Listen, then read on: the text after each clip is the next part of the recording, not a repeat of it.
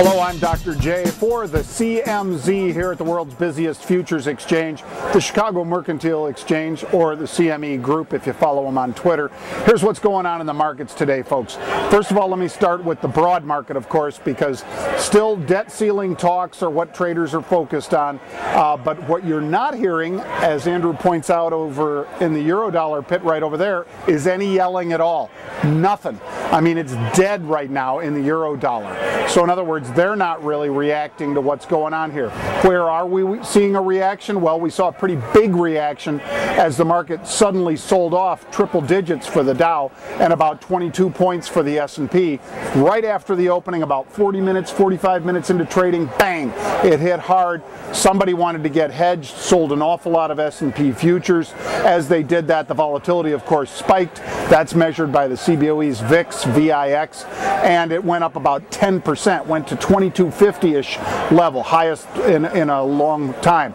Now, as it did that, the uh, uh, markets then pulled a 180 very quickly because all of a sudden there was rumors that Bonner was going to be, John Bonner, Boehner, was going to be speaking to the, uh, uh, doing a press conference. He walked right by the microphones, so he put it on hold for a little bit, but nonetheless, the market made a little bit of a recovery, about a 40 point recovery out of the Dow.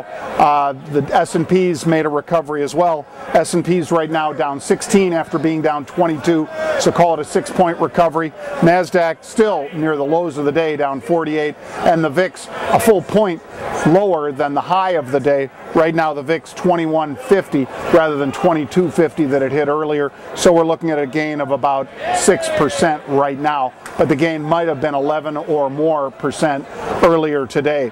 As far as the VIXY, that's the VIXY or the VXX, both of those moved up a little more than half showing you how fast the futures were moving up, which is one of the things that we like to watch. Now, yesterday on one of our CMZ videos, we talked about uh, and we spoke with the specialist over at the CBOE about the VIX and a very large spread. 55,000 times somebody stepped up and bought the August 2750 calls, sold the 35s. So that's a seven and a half point spread, obviously, seven and a half point bull call spread um, that they bought.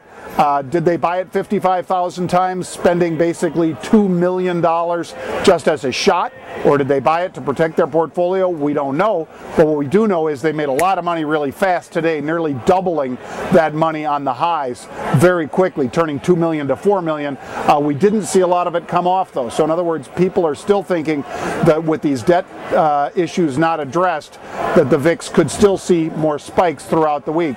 We're also seeing volatility pick up in the TLT, the TBT, TLT is the 20-year uh, bond. The TBT is the inverse reaction uh, for those. And keep an eye on both of those. Like I say, volatility in those picking up. So even though so many people are focused on the bond yield at 2.95% for the 10-year or whatever it might be, that's not the metric you should be paying attention to, folks. You should be paying attention to the volatility or the, uh, it's like a credit default swap. That's kind of like the canary in the coal mine, lets you know something's going on in that particular issue, that there are some worries uh, going on through the market.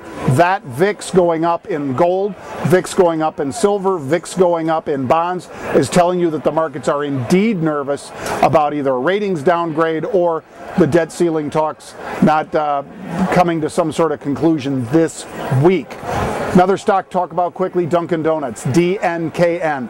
Prices at $19 a share, trades first at $25 a share. About 5 million shares hit like bang, like that.